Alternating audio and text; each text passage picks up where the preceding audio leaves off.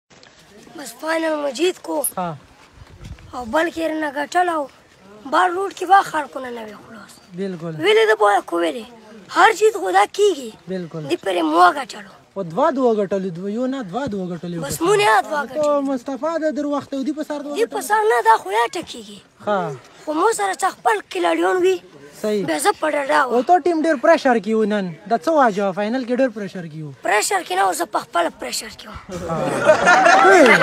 ویلې څه واجو مولو کمې چوغټی نه ها بیا به خال کا خبرې کوي هغه کې خو بس په الحال څوره ټیمونه دا ما ټول وو ان شاء الله څخه خپل غپر لوټ شو